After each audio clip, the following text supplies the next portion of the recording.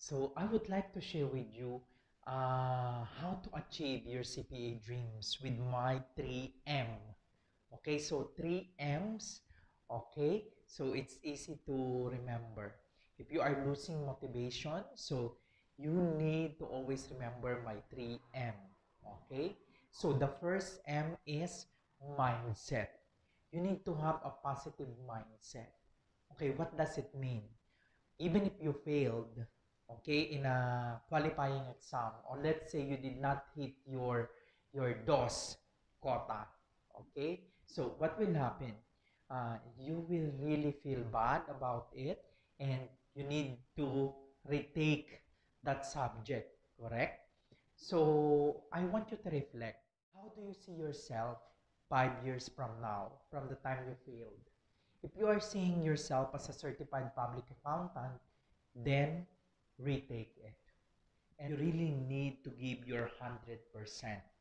You are the only person responsible if you failed or passed this, this subject.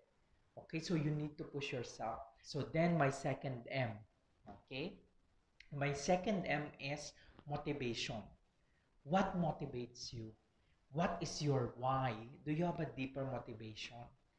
You know, I still remember uh, when I took the CPA board exam, I'm praying. I'm praying for my exam that I would that uh, God will help me answer the questions.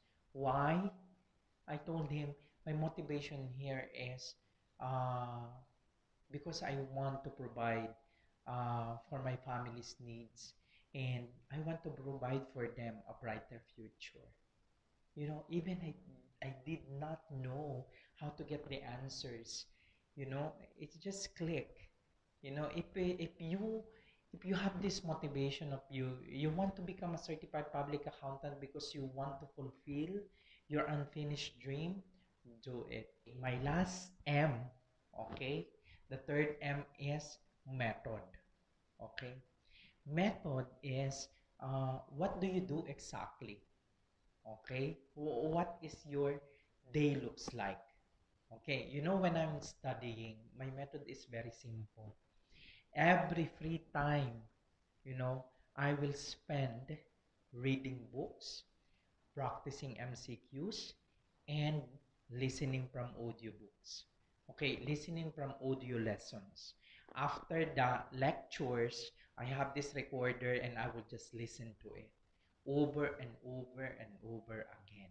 And sometimes I have this method as well for the formulas you know, I have these post-it notes, the 3M post-it notes. Okay, I will write all these formulas and then uh, I will post it in my uh, bathroom.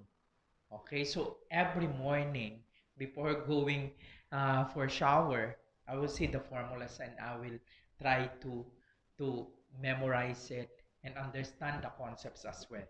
Know and feel. That uh, you know I'm here also for you.